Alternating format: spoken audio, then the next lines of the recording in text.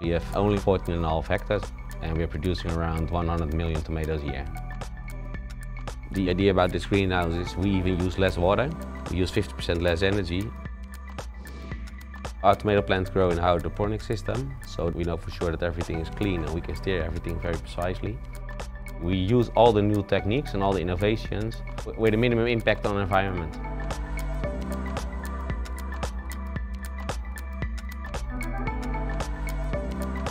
My definition of precision farming is doing the right thing on the right moment on the right place.